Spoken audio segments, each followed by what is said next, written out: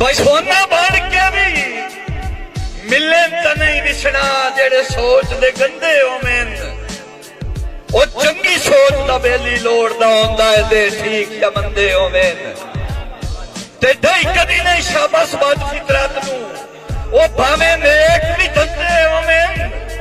ਕਦੀ ਪਿਓ ਮੁਸ਼ਤਾਕ ਕੁੜਾਈਂਦੇ ਨਹੀਂ ਚੰਗੇ ਖੂਨ ਦੇ ਬੰਦੇ ਹੋਵੇਂ तालियां जिंदगी होगी बिस्मिल्लाह जी मियां साहब क्या बात है